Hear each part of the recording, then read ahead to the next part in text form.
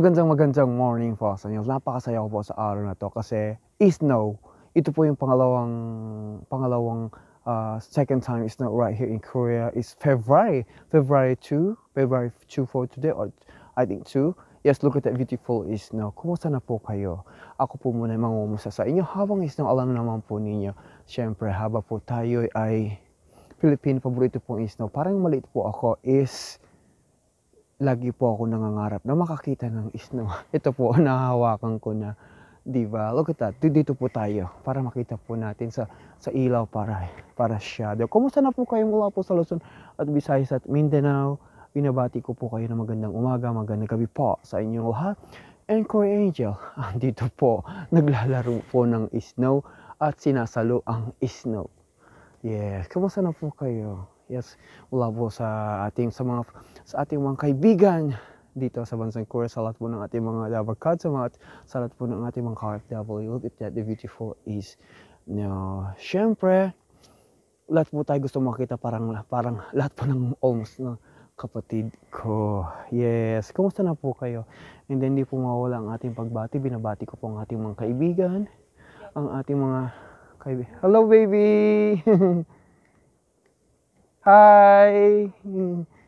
Yeah, the look at the beautiful snow. So, alright. So, mangumusta po ako sa inyo habang andito umiksa na sa snow. Kasi madalang lang po. Therefore, I think the first time is snowing right here, hindi po naman ganong kalakasan. But today is medyo malakas po. Look at that. So, lakad po tayo. Alright. Tingnan po napak napakaganda po ng snow. Binabati ko po ang ating mga kaibigan. Buenos dias, Pinas Noches, te amo. Look at that beautiful snow. Para po akong bata na, na, na dinadama yung po ng snow na mula po sa langit. Look at that.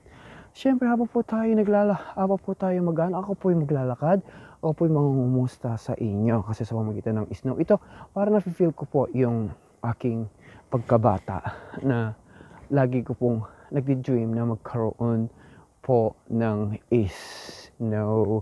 Siyempre, mangungumusta po ako sa inyo sa aking mga kaibigan, sa ating mga, sa ating pong mga kababayan, lalo na po sa bansang Jubail, UAE. Ito po ako, naglalaro ng is, nag-snow, sinasalo.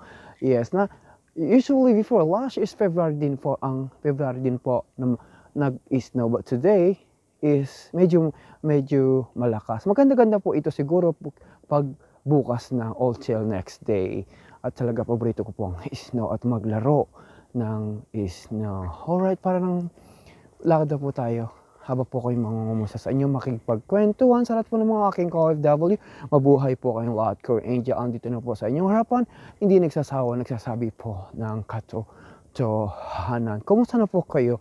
Reminders lang po sa ating mga kaibigan, please wear warm jacket at napakalamig sa mga sa mga bababa po ng sa bababa po na paliparan papunta po right here in Korea wear warm jacket at talagang ngayon nag-i-snow lang po. It is a good timing right here sa Pyeongchang. Pwede po tayo mamasyal dyan, mamasyal dyan sa, sa, sa Nami Island. At napakalamig po ngayon at napakaganda. Even although na malamig, ang dami pa rin po, ang dami pa rin pong namamash.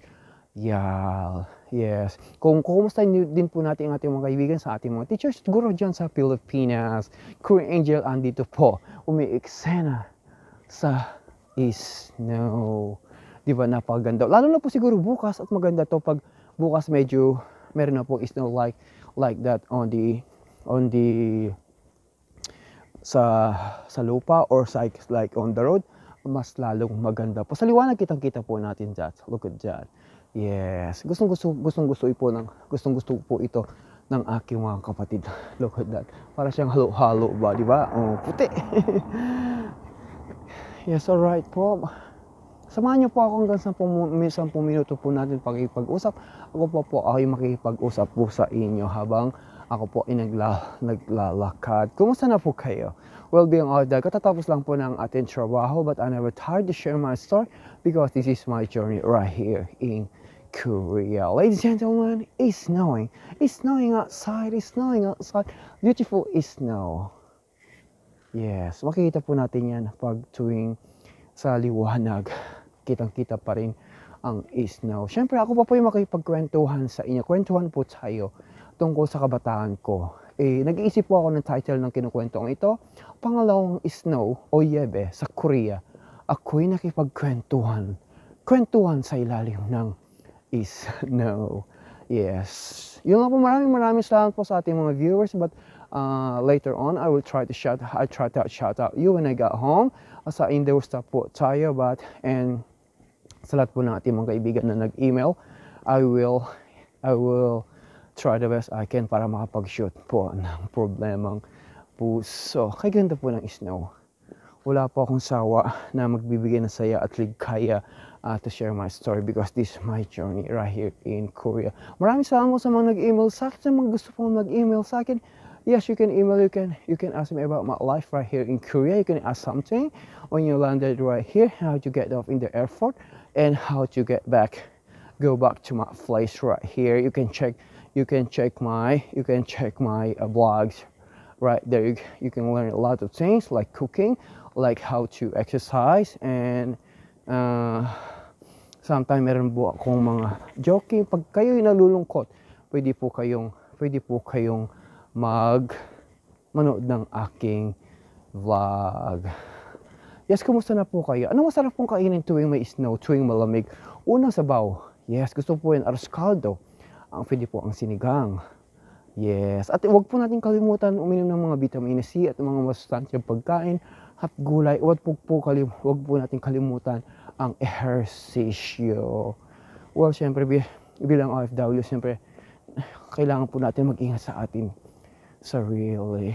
Likewise, and Korean Angel, andito po lagi sa inyong harapan, hindi nagsasawa, nagsasabi ng katotohanan.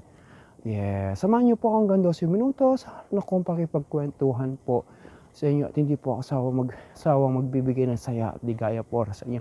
Bato-bato sa langit at sa mga magagat kaya ka po tumay sis Bumba kay ganda po ng umaga. Medyo huminto na po siya. Kanina, kanina po medyo malakas-lakas. Anyway, this is a good time. This is a good timing po, di ba? At least po, na i-documentary ko po yung, may, yung, yung snow right here. Siyempre, hindi po mawala ang aking pangungumusta sa ating mga kababayan, sa mga police at teachers sa Pilipinas na walang sawang naglilingkod sa ating bansa. Well, babalik na po tayo dyan at iikot po tayo. Siyempre, para po tayo makakapagpahinga na. Well, I never try to share my story kasi alam niyo naman po, di ba, medyo maganda-ganda po ang weather today. At syempre, bila pong isang OFW, hindi po tayo nagsasawang nagbibigay ng ligaya at saya sa inyo. Alright po? Sa mga gusto pong mag, uh, mag-comment, comment lang po kayo. At meron po tayong tayo na mag-shoutout for lately, maya-maya. Pag-asa indoors po tayo. And kumusta po ang ating mga kaibigan? At sinashout at shoutout po for kay Paring Clemente at kay Ann's Vlog at sa Family Vlog in Spot and kay Rachel and Aroy. Kumusta na po kayo? Na-miss ko po kayo. Medyo na-busy po ako sa aking schedule because alam naman po ninyo, inuuna po natin ang trabaho at siyempre kailangan po trabaho at, at dito po tayo sa ibang bansa kailangan po natin kumita ng pera. Pag hindi tayo kumita ng pera, wala tayong padala. Kailangan po natin ang magsikap. Lagi po natin tatandaan, sa Diyos ang awa, asa ating tao ang gawa. Well, yes.